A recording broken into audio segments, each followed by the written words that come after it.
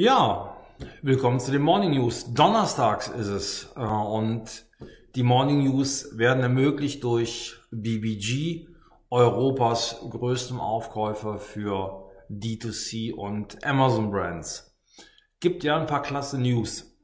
Von daher die BBG Facts erst einmal hinten angestellt und kommen nach der News, die mich besonders freut. Ja, Backup ist verkauft worden an äh, E-Commerce One. E-Commerce One ist ein äh, E-Commerce-Infrastruktur, Aggregator.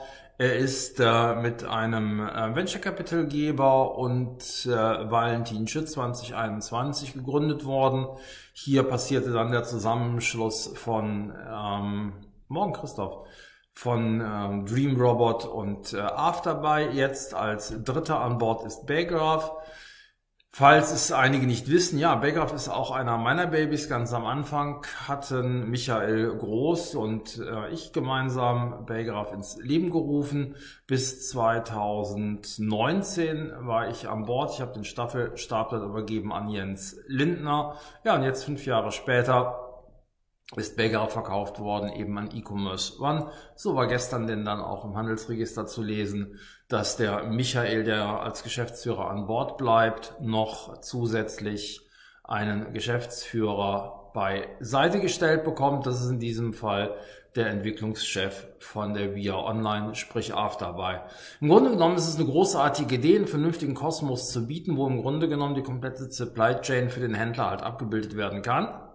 Das ist ähm, eine ganz, ganz großartige Idee, sogar aber in dieser Form gibt es sie noch nicht. Es haben ja immer die ein oder anderen Systeme ihre Herausforderungen, die halt nicht die Bedürfnisse der Händler komplett zum einen abbilden, ähm, sie aber auch nicht äh, unterstützen können in ihrer eigenen Skalierung. Systemwechsel sind nach und nach oder sind immer wieder halt nötig und äh, das kann, wenn ein solcher Aggregator sich geschickt aufstellt, äh, in der Tat wirklich vermieden werden, sodass für den Händler am Ende des Tages ein echter Mehrwert äh, entsteht. Das ist eine Mammutaufgabe. Klar, jetzt 2021 bis 2022, das ist jetzt noch nicht mal ganz ein Jahr, ist es so, dass wir noch keine bahnbrechenden News erwarten können. Insoweit ist es auch ein klein wenig ruhig geworden. Aber, Frosch im Hals, aber ich glaube, wir müssen hier auch einfach ein bisschen mehr Zeit ähm, geben. Rom ist nicht an einem Tag gebaut worden und die grundsätzliche Idee an die glaube ich. Ja, die Geschäftsführerin von E-Commerce One ist äh, Dalia Salzmann. Ja, sie wird sich daran messen lassen müssen in Zukunft, ob und inwieweit ihr die Integration der Tools gelingt, insbesondere aber auch, wie sie in der Lage ist, Synergien zu heben und halt auch ähm, Skaleneffekte zu heben. Ich bin gespannt, was äh, hier passiert. Ein ganz wichtiger Punkt ist natürlich halt auch das Teambuilding. Es müssen ausreichend Talente an Bord sein und an, an ausreichend Talente an Bord vor allen Dingen auch gehalten werden. Das ist auch ein wichtiger Punkt. Und ja, da werden wir sehen, ob äh, Dalia das äh, schafft. Ich glaube, nächstes Jahr sind wir dann schon wieder ein bisschen klüger.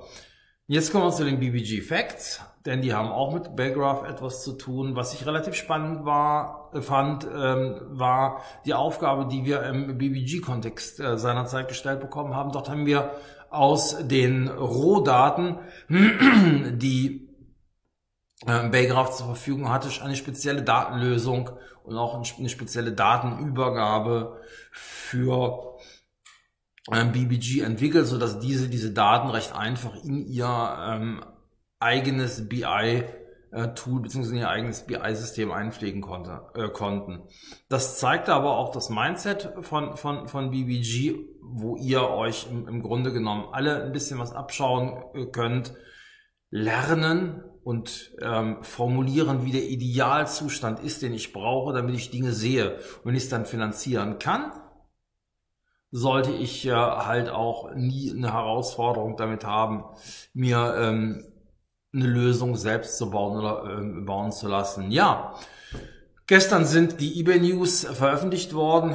Morgen Armin, es tut mir total leid, dass ich die halt um 13 Uhr nicht veröffentlicht hatte. Ich hatte aber völlig eine andere Sache um die Ohren, so dass ich es tatsächlich vergessen habe. Ich habe gestern Abend spät noch die Pressemitteilung von eBay veröffentlicht. Das sind jetzt die ersten News. Im April kommen äh, weitere. Viel Dolles, Neues gibt es nichts. Für euch relevant ist halt der äh, automatische Einzug der, des, der Kundengelder im Rahmen des äh, Preisvorschlags, wenn da eine Zustimmung passiert. Das heißt, ihr habt weniger Zahlungsausfälle und habt schneller das Geld zur Verfügung. Das ist auch meines Erachtens so der, der, der Big Point, der hier passiert ist. Alles in allem, aber halt nichts Dramatisches. eBay versucht nach wie vor und weiter das Advertising nach vorne zu bringen. Und hier muss man auch mal ganz ehrlich sagen, ähm, das ist eine verdeckte Gebührenerhöhung. Das sage ich auch so in aller Deutlichkeit, weil eigentlich hätte ich, was die News angeht, mehr erwartet. Und so langsam aber sicher nach so zig Jahren des gefühlten Stillstands, was ist als ein Wichtiges gekommen? Die Videofunktion, ja, hm, ähm, fehlt mir so ein bisschen die, Innovat die, die, die innovative äh, Umsetzung von Möglichkeiten. Also eigentlich hätte ich wesentlich mehr erwartet sollen, äh, erwarten können, hätte ich mehr erwarten wollen. Es ist schade, dass da nicht zu viel gekommen ist.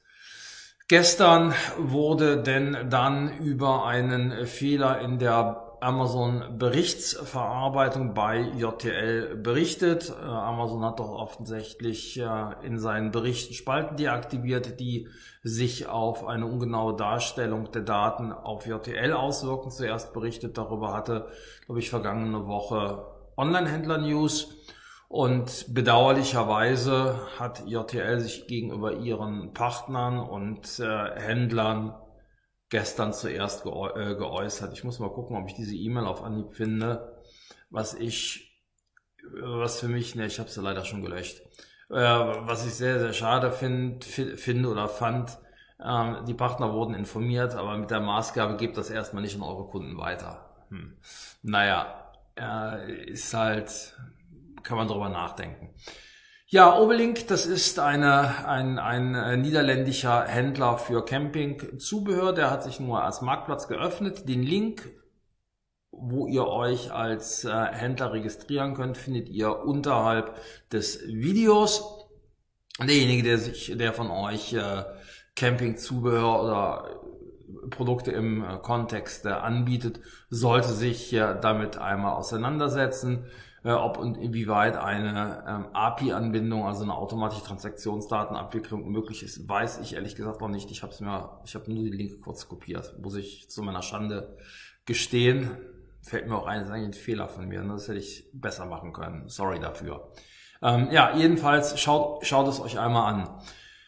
YouGov hat heute den Brand Index 2022 veröffentlicht. Interessant ist, unter den Top 10 finden wir neben eBay Kleinanzeigen unter anderem jetzt auch erstmals PayPal und auf Platz 9 Amazon. Das heißt, die Online-Plattformen sind in einem hohen Maße vertreten und haben zumindest mal 30 Prozent unter den Top 10, äh, unter den Top 10 ähm, äh, gelisteten vertreten verdrängt, vertreten. Ah, ich habe es heute mit den Sätzen. Scheiße, jetzt soll ich gleich noch einen Rand bringen. Äh, Agent hat seine Zahlen veröffentlicht. Über 500 Milliarden US-Dollar sind abgewickelt worden über das Zahlungssystem. Ja, sind also allesamt dort zufrieden mit der Entwicklung. Und äh, großartige News gibt's da halt auch nicht, aber Agent ist halt ein, ein Pfund in der Zahlungsabwicklung und wird es wahrscheinlich auch die nächsten Jahre bleiben. Mit eBay haben sie ja unter anderem auch ähm, einen guten Schlag getan. Ja, der HDE hat auf einem ähm, auf, dem europäischen äh, Industrietag 2022 also ganz spannende Dinge geäußert. Hier in diesem Falle der stellvertretende Hauptgeschäftsführer. Und zwar ist er der Meinung, dass ähm, der Handel am Point of Sale pandemiebedingt nicht mehr in der Lage ist, sich äh, vernünftig digital aufzustellen. Und er fordert, dass die Politik hier unterstützen sollte.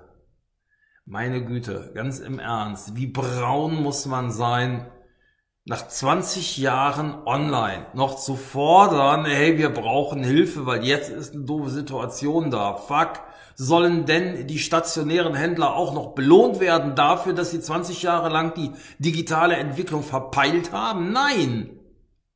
Das ist ein künstliches am Leben halten. Und das ist ein am Leben halten, das ist eine Forderung zu Lasten und zum Schaden der Online-Händler. Das gehört sich so nicht, das ist unanständig, eine solche Forderung. Richtig unanständig. Weil wir reden hier von einem Protektionismus. Es kann nicht sein, dass eine aussterbende Spezies künstlich am Leben erhalten wird. Das ist unnatürlich. Im Grunde genommen ist es recht einfach. Wir haben hier eine wirtschaftliche Entwicklung, die hat eingesetzt und wer sich nicht anpasst, der geht halt ganz einfach. Der wird vom Markt ganz easy entsorgt. Das ist doch nichts Schlimmes, das passiert seit Jahrhunderten und daran wollen wir auch nichts ändern, weil das ist eine Säule der freien Marktwirtschaft.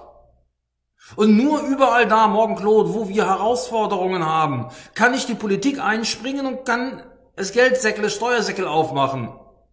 Das macht aus einem stationären Händler keinen besseren Online-Händler. Der wird zwar noch etwas länger leben, meinetwegen, aber er ist vorher ein schlechter Stationärer gewesen und wird dann in Zukunft ein schlechter Onliner. Auf der einen Seite, auf der anderen Seite haben wir die Händler, die rechtzeitig sich digitalisiert haben, die rechtzeitig, rechtzeitig online gegangen sind. Die werden doch in den Hintern gekniffen. Ihnen wird ein Stolperstein nach dem anderen zwischen die Beine geworfen. Und hier wird dann auch noch künstlich Wettbewerb nach vorne geschaffen. So jedenfalls der, der Traumgedanke eines Herrn Stefan, äh, eines Herrn Stefan Tromp. Das finde ich schade. Insbesondere auch diese populistische, diese unfassbar populistische Forderungsformulierung.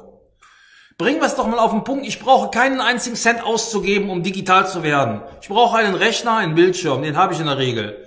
Und wenn ich mich mit einem Foto mit meinem Handy durch die Gegend, durch die Gegend, durch mein Geschäft bewege und Bilder mache, kann ich kostenlos den Spaß auf eBay Kleinanzeigen anbieten. Sowohl eBay wie auch Amazon haben im hohen Maße Förderprogramme. Bei eBay kriege ich sogar ein halbes Jahr die Gebühren in den Arsch geblasen. Und wozu braucht man hier noch Geld?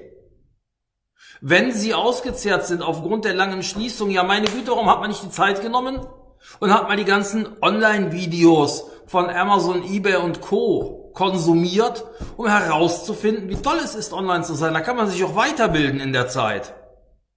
Und für das Versagen